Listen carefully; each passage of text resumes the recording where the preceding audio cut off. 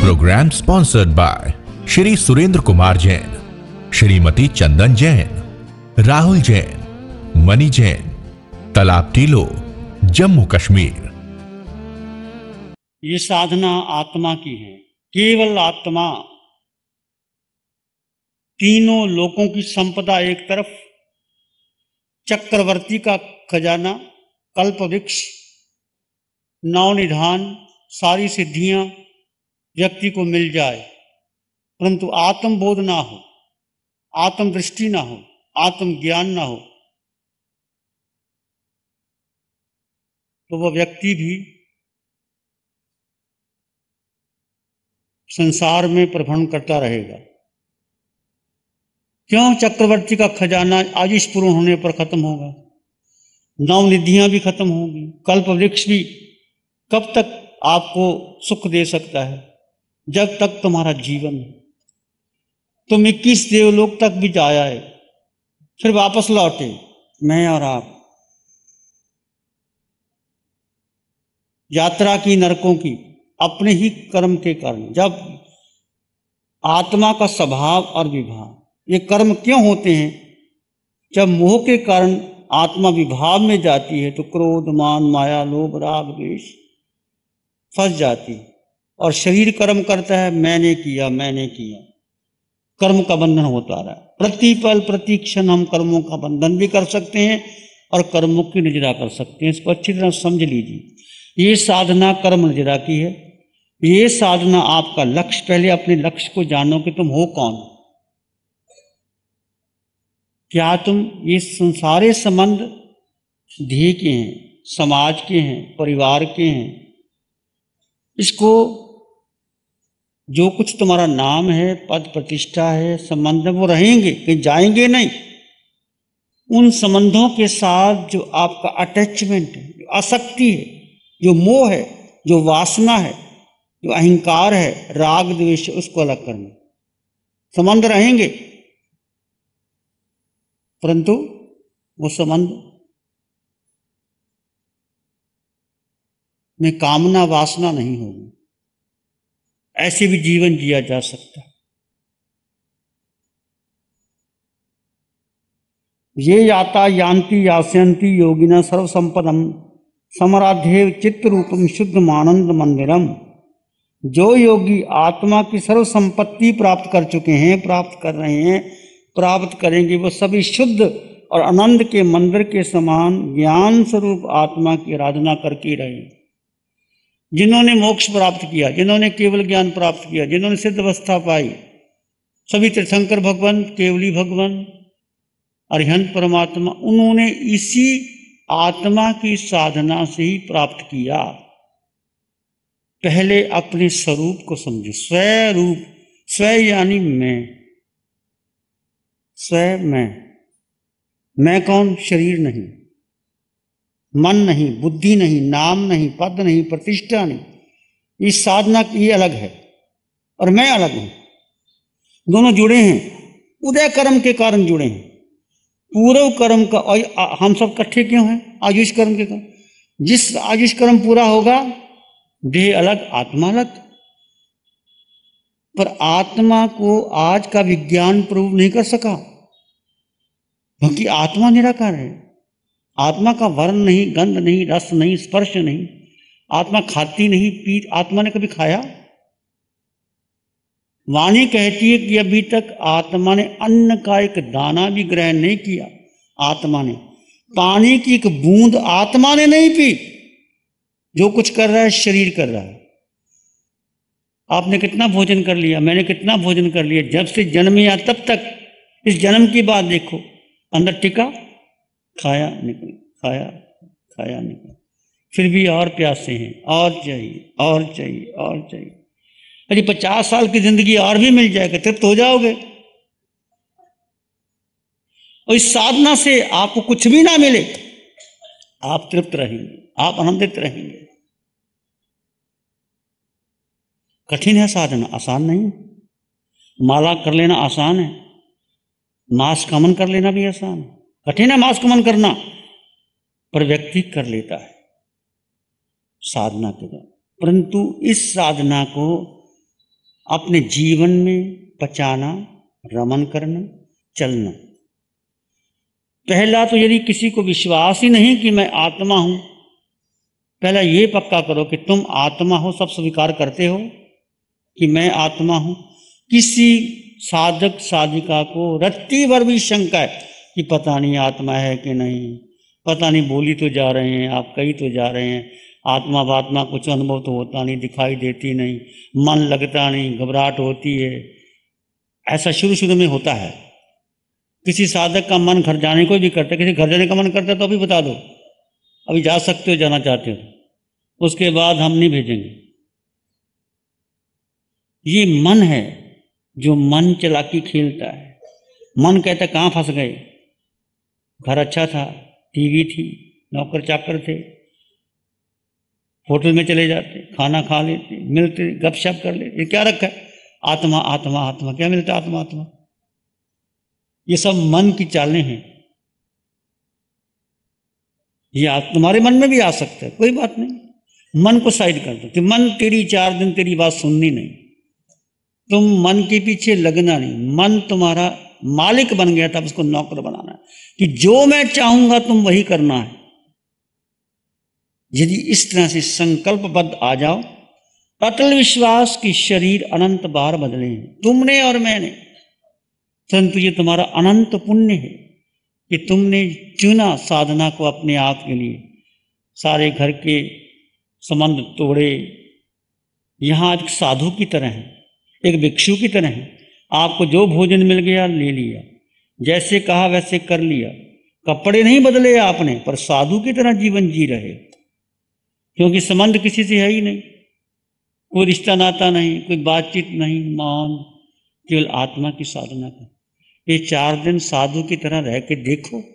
आपको अच्छा लगे तो स्वीकार कर लेना, नहीं लगे तो अपने घर चले जाना। कौन मना करता है आप तुम्हारा घर, तुम्हारी फैक्ट्री, तुम्हारी दुकान, तुम्हारी बीबी बच्चे है, अनंत काल तक है, वो रहेंगे, कहा जाने वाले? और पकड़ के तुम रख नहीं सकते उनको। जब तक तुम्हारा आयुष्य है, तब तक तुम उसको अपना मानते हो। आयुष कर्म टूटा, सब बिखर जाते। तुम जानते हो, परंतु इसको मोह है वो। मुँह में भटकाता है बार बार भटकाता है। नहीं नहीं, हो गया, मैं थोड़ा गया मैं तो ठीक हूँ ना। वो बूढ़ा हुआ, मैं थोड़ा बूढ़ा हो गया। उसके बाद बाल काले हुए, मैं थोड़ा काले हुए। हैं मैं तो अभी, मेरे बाल सफ़ेद नहीं हुए अभी तक। ये सब मन रस्ते निकालता है। और बुद्धि कहती, ठीक है ना? जो मन कह रहा वो ठीक है ना? इन दुनिया के सुख बहुत प्यारे लगते हैं। आँखों को नई पिक्चर आ जाए आपका मन करता देखने को, फटाफट। कितनी तुमने दृश्य देखी? क्या तृप्ति आई आँखों को? देखो। कानों ने कितने संगीत सुने। इस जिब्बा ने कितना रस लिया? शरीर को आपने क्या क्या नहीं दिया? गर्मी लगी, पंखा चला लिया एसी चला ली। सर्दी लगी, गर्म वस्त्र दे दिए। मन ने चाहा, घूमो, आप घूमने चले गए। जो कुछ मन ने चाहा, तुमने किया। क्या तुम्हें आंतरिक सुख, एक सुख है बाहर का, एक है भीतर का? भीतर का सुख, आत्मा का सुख। वो सच्चा सुख है। वो जाने वाला नहीं, वो बढ़ेगा। और इंद्रियों का सुख घटेगा। जितना भी तुम सुख प्राप्त कर लो, वो घटेगा। लगता है सुख, अंततः वो सुख दुख देता है। निश्चित निश्चित दुख देता जो संयोग अब वियोग होने वाला है। बेटे का जन्म हुआ, बड़ा होगा, जवानी आएगी, शादी होगी। कब तक तुम उसके साथ रहोगे? एक समय आएगा। वो अलग हो जाएगा, तुम अलग हो जाएगा, वो चला जाएगा, तुम चले जाओगे। ये सारे संबंध शरीर की। यदि आपने हाँ इस देह का बहुत बड़ा अभियोग है, ये मानव की देह ही परमात्मा को प्राप्त कर सकती है, और कोई देह प्राप्त, देव का व्यक्र शरीर हो रहा था, वो इस साधना नहीं कर पाते। मनुष्य ही कर सकता, पशु पक्षी नहीं कर सकते। नरक के निरीय को तो भयंकर दुख ही दुख तुम कर सकते, मैं कर सकता। पर आपका प्रबल पुरुषार्थ चाहिए। पहली बार सत्य क्या है? एक सत्य है आत्मा। एकम सत्य विप्रा बहुधा भवंती। उपनिषद के ऋषियों ने कहा ट्रुथ इज़ वन मैन सत्य एक है, वह है तुम स्वयं आत्मा।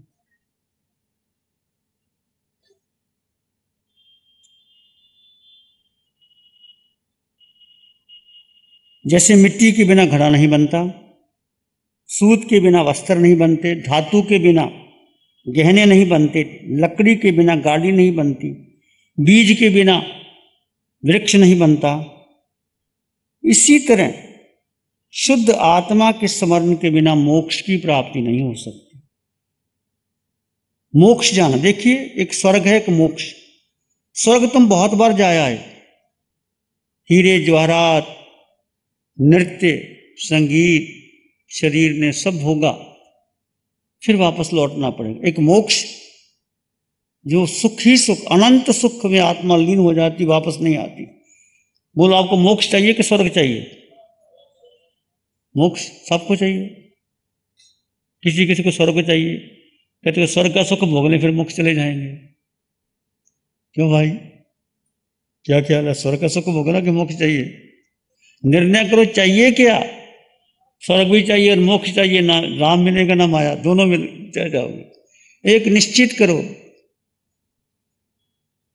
भगवान की वाणी कहती, इस स्वर्ग में बहुत बार तुम भी गए, मैं भी गए।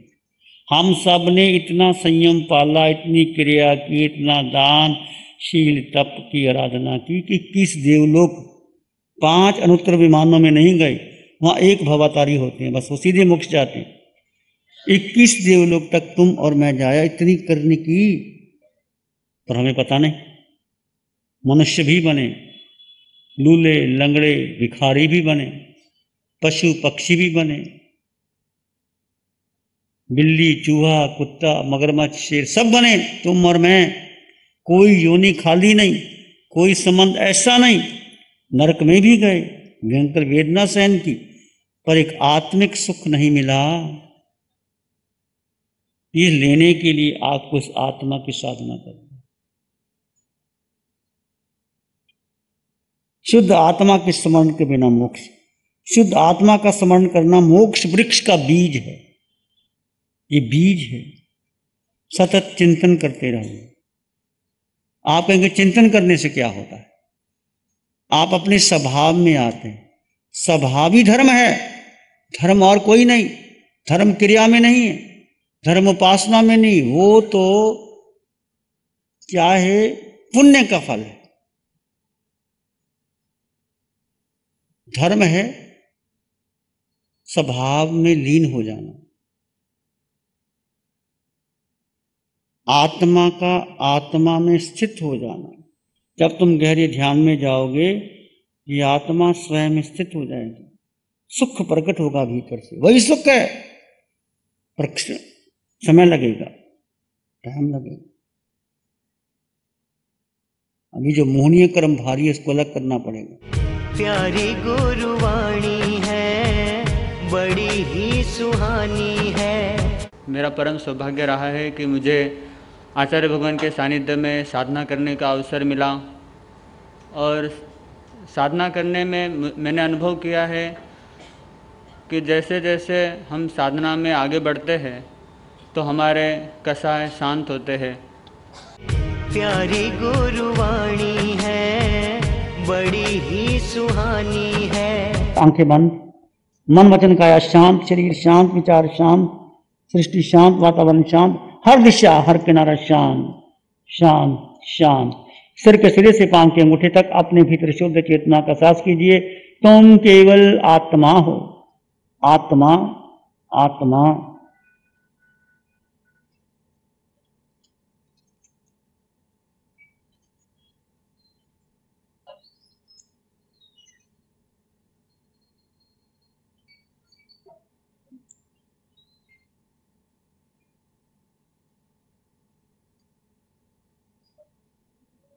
सिर के सिरे से पाँव के अंगूठे तक असंख्यात प्रदेशी आत्मा अपने भीतर गहरे गहरे चले जाएँ।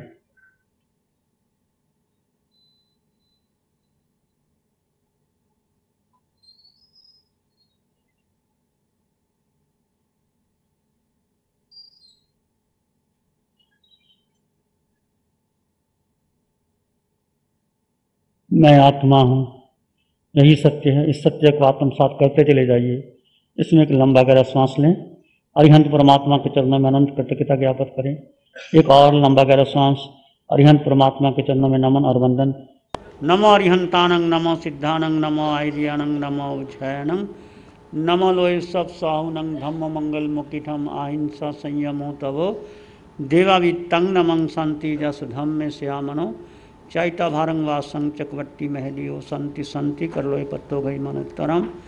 चैता भारंग वासंग चकवट्टी महलियो संति संति कर लोय पत्तो गई मनुत्तरम श्री चत्तारी मंगलम अरहंता मंगलम सिद्धा मंगलम साहु मंगलम केवली पानत्तो धम्मो मंगलम चत्तारी लोगुत्तम अरहंता लोगुत्तम सिद्धा लोगुत्तम साहु लोगुत्तम केवली पाणत्तो धम्मो लोगुत्तमो चत्तारी शरणं पवज्जामि, अरहन्ते शरणं पवज्जामि सिद्धे शरणं पवज्जामि साहु शरणं पवज्जामि, केवली पाणत्तं धम्मं शरणं पवज्जामि।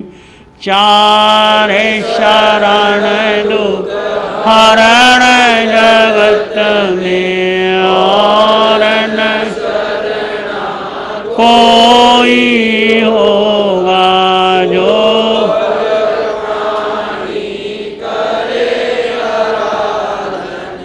उसका अजर अमर। उसका सदा ही program sponsored by Shri Surendra Kumar Jain Shrimati Chandan Jain Rahul Jain Mani Jain Talab Tillo Jammu Kashmir. प्यारी गुरुवाणी है बड़ी ही सुहानी है